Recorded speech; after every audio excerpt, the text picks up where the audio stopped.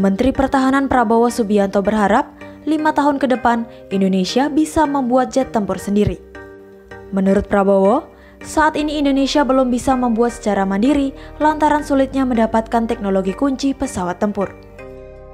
Hal itu disampaikan Prabowo di kantor Kementerian Pertahanan Jakarta Kamis 27 Oktober 2022.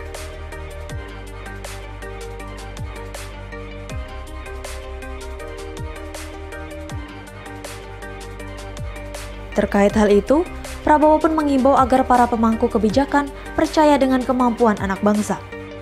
Menurut Prabowo, kemampuan anak bangsa tidak kalah dengan kemampuan negara lain. Di sisi lain, Prabowo mengaku heran karena beberapa pihak lebih sering kagum dengan hal-hal yang berbau luar negeri.